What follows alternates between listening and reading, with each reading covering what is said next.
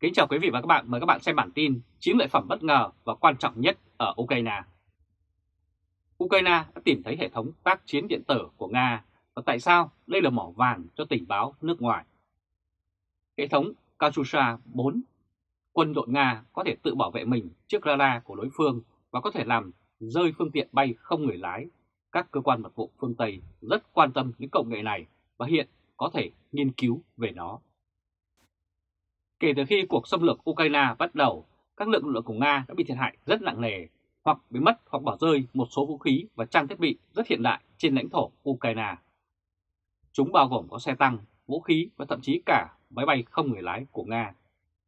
Mới đây, lực lượng Ukraine đã tìm thấy một phần của hệ thống tác chiến điện tử công nghệ cao của Nga. Đó là chiến lợi phẩm quan trọng nhất cho đến thời điểm này. Nơi mà nguồn tin tình báo của các nước tư bản vẫn luôn sục sạo tìm kiếm và giờ đây các thiết bị đã nằm trong tay của họ. Đây là hình ảnh lính Nga đang thiết lập hệ thống Kasusha 4. Tại một khu vực cây cối rậm rạp gần Kiev, các binh sĩ Ukraine đã tình cờ bắt gặp một phần của hệ thống công nghệ quân sự của Nga đang bị bỏ hoang. Hầu như không được ngụy trang, theo tường thuật của một tài khoản trên tweet ghi lại các vũ khí bị tịch thu hoặc bị phá hủy bởi lực lượng vũ trang Ukraine trong cuộc giao tranh này. Họ nói, chúng tôi đã thành công trong việc xác định container kỳ lạ này mà lực lượng vũ trang Ukraine tìm thấy ở gần Kiev vào hôm nay tức là 22 tháng 3. Có lẽ nó là đài chỉ huy của một trong những hệ thống tác chiến điện tử mạnh nhất của Nga. Katyusha 4 đã được sử dụng để áp chế các radar và các radar trinh sát với sự hỗ trợ của vệ tinh. Mất mát này có thể làm cho điện Camry đau lớn. Thùng xe tải với hình dáng container là một trạm chỉ huy của hệ thống tác chiến điện tử công nghệ cao Katyusha 4 là điều mà giới tình báo phương Tây từ lâu đã tỏ ra thèm muốn và lo ngại, cũng như rất muốn có những thông tin về nó. Thì nay nó đã hiện hữu ở ngay chiến trường Ukraine và điều đặc biệt là bị quân đội Nga bỏ lại. Đây là hình ảnh toàn bộ hệ thống tác chiến điện tử Katusha 4 của Nga.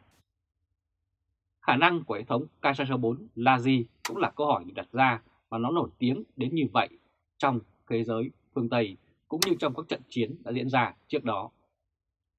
Katyusha 4 là hệ thống hai phần, bao gồm hệ thống 1 và hệ thống mô đun đài chỉ huy được lắp đặt riêng biệt trên hai xe tải khác nhau. Hệ thống này đã tồn tại hơn một thập niên, được chế tạo bởi Consent Radio, là một công ty thuộc sở hữu của Rostec, một tập đoàn nhà nước Nga chuyên sản xuất các sản phẩm quân sự chuyên dụng. Krasuka 4 được thiết kế nhắm vào các hệ thống vô tuyến điện tử của đối phương và phương tiện bay, thí dụ thiết bị bay không người lái, cũng như hệ thống tên lửa hành trình.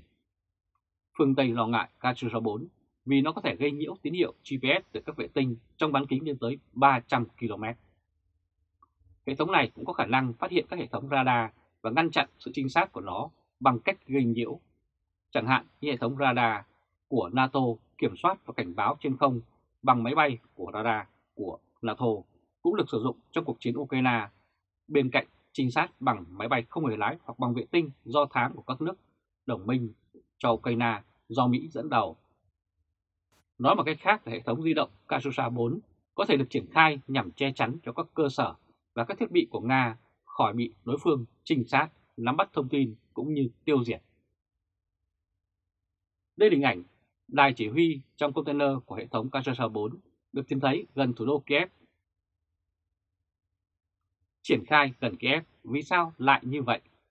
Về mặt chiến lược và việc đặt hệ thống này gần thủ đô Kiev làm hợp lý vì sự che chắn của nó sẽ giúp cho các bước tiến quân của Nga giữ được yếu tố bất ngờ. Nó được bố trí để che chắn việc trinh sát của lực lượng NATO. Hồi đầu tháng này, cũng có những thông tin tường thuật về lực lượng không quân Mỹ đã thực hiện các phi vụ ở chế độ tàng hình bằng cách sử dụng máy bay F-35 của họ đóng quân ở châu Âu các hệ thống như Katyusha là biện pháp đối phó hoàn hảo. Và quân đội Nga đã đưa Katyusha Fear 4 vào trang bị từ năm 2010 và được cho là đã sử dụng thành công hệ thống này chống lại máy bay không người lái Perak TB2 của Thổ Nhĩ Kỳ trong chiến tranh tại Syria. Rõ ràng hệ thống này có khả năng làm rơi máy bay không người lái vì các thiết bị điện tử của nó bị gây nhiễu đến mức bị phá hỏng. Quân đội Ukraine cũng có một số máy bay không người lái Perak Họ đang sử dụng chúng hết sức thành thạo và thành công để chống lại quân đội Nga Từ những chiếc máy bay này, họ đã bắn cháy khá nhiều xe tăng và các xe chở quân của Nga. Cũng chính vì thế mà việc để mất Kazusa 4 vào tay đối phương sẽ gây ra rất nhiều vấn đề cho quân xâm lược của Putin. Ngoài tại Kiev không rõ còn có Kazusa 4 của Nga tại những nơi nào khác ở Ukraine hay không. Tuy nhiên, con số này có lẽ không nhỏ. Đây là hình ảnh máy bay không người lái Berak DB2 được Ukraine sử dụng trong cuộc chiến chống quân xâm lược Nga hết sức hữu hiệu, phát hiện và tấn công được rất nhiều mục tiêu. Đài chỉ huy của hệ thống Kazusa 4 được tìm thấy ở Ukraine, hiện đang được đưa sang Đức bằng đường bộ. Đích đến là căn cứ không quân của Mỹ Ramstein ở bang Rheinland-Pfalz của Đức. Đài chỉ huy nằm trong container này sẽ được nghiên cứu và phân tích tại đây. Và tìm hiểu thêm về khả năng của Kazusa 4 có thể giúp ích cho việc phát triển các biện pháp đối phó. Phần mềm vận hành hệ thống cũng có giá trị như phần cứng. Chẳng hạn các chuyên gia Hoa Kỳ có thể tìm ra và khai thác các lỗ hổng bảo mật trong phần mềm của hệ thống này cho các mục đích chiến tranh trên mạng của mình. Điều đó gây nguy hiểm rất nhiều cho Nga khi hàng loạt hệ thống có thể bị đột nhiên ngừng hoạt động hoặc tê liệt. Ngoài ra, các thành phần riêng biệt như hệ thống dây điện có thể cho các chuyên gia phương Tây biết rất nhiều về khả năng sản xuất các hệ thống như vậy và các thiết bị điện tử khác của Nga. Chuyên gia Tikvet đã viết như vậy.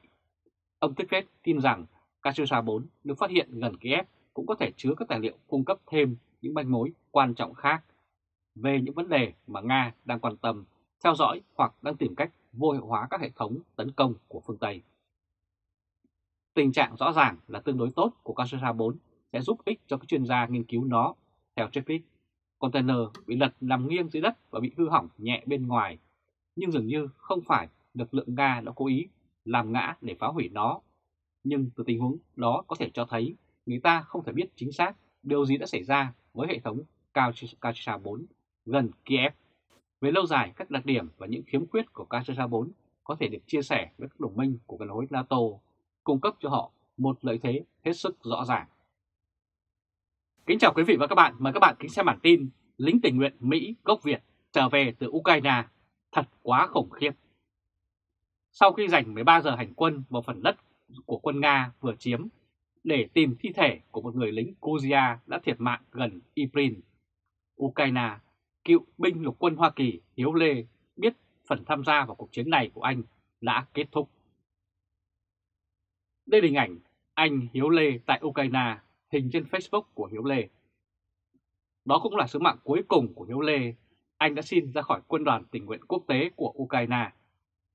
Nhóm những chiến binh cạnh tôi rất ủng hộ vì họ thấy tôi bị ảnh hưởng sâu sắc như thế nào khi hành trình mang thi thể của binh sĩ ấy trở về. Hiếu Lê tâm sự với tờ TASS về một thể chất tôi thấy ổn, nhưng tôi cảm thấy mình như có những vết thương vô hình trong tâm hồn, Hiếu nói.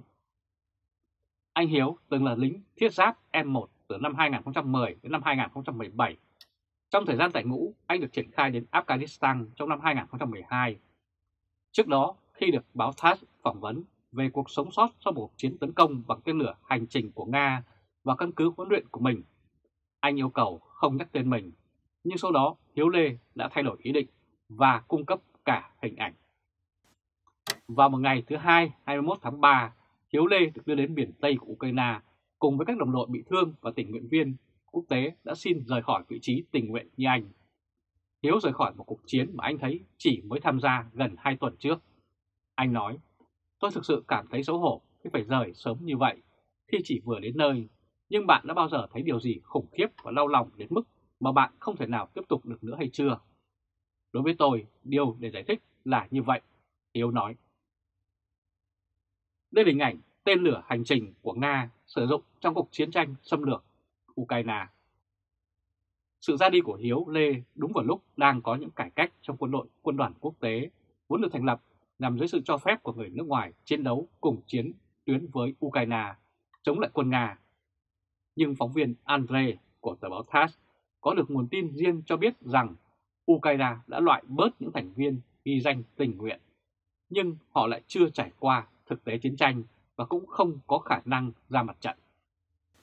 Hiện tại, quân đội Ukraine cũng đang tính toán về cách tuyển dụng người nước ngoài ưu tiên cho các cựu chiến binh được đào tạo chuyên sâu, chẳng hạn như lính bắn tỉa.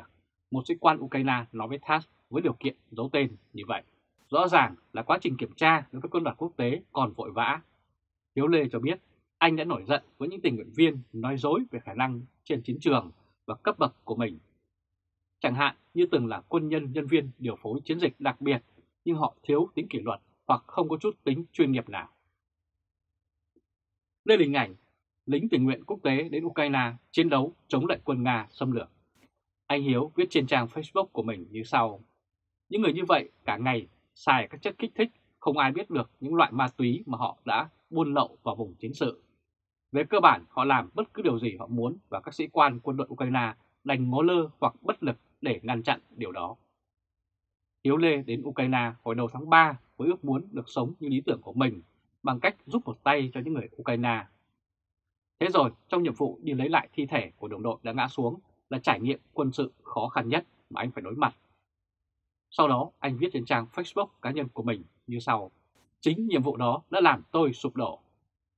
Nhóm của Hiếu Lê đã vác đầy mìn chống tăng và tên lửa chống thiết giáp đi bộ một chặng đường dài 8 km để đến vị trí chiến đấu cuối cùng của người lính Kozia. Hiếu kể lại trên trang Facebook và trên đường đi họ gặp phải những người có vẻ là lính Nga và những người lính Nga này có vẻ không muốn chiến đấu. Họ hô to vinh quang cho Ukraine để ra hiệu, vì vậy hai bên đã vượt qua nhau mà không hề xảy ra sự cố nào. Đây là hình ảnh vũ khí chống tăng của các nước thuộc khối NATO viện trợ cho Ukraine chống quân Nga xâm lược. Họ tìm thấy thi thể của người lính và Hiếu Lê đã viết tên, số hộ chiếu và ngày chết của người đàn ông này lên một mảnh bìa cứng rồi đặt cùng với thi thể. Sau đó họ phải kéo thi thể trở lại theo các tuyến đường mà không có quân Nga. Hiếu Lê viết trên trang Facebook rằng máu của anh ấy dính trên đồng phục của tôi trong khi giữa chúng tôi là lặng thinh. Nhưng cảm giác không thể giải thích được. Khi chúng tôi lên đồi đến đầu cầu, xe cứu thương gặp chúng tôi và chúng tôi cho anh ta vào một chiếc túi đựng xác. Và đứng và chào chiếc xe cứu thương khi nó đi khuất, Hiếu Lê nói.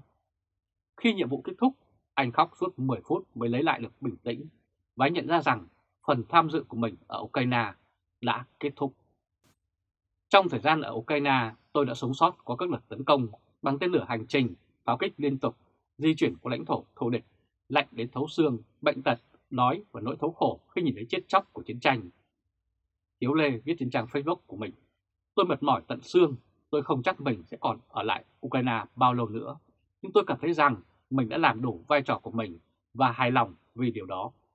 Tới ngày 22 tháng 3, anh Hiếu Lê chính thức rời khỏi quân đoàn tình nguyện và đi về qua ngõ Ba Lan.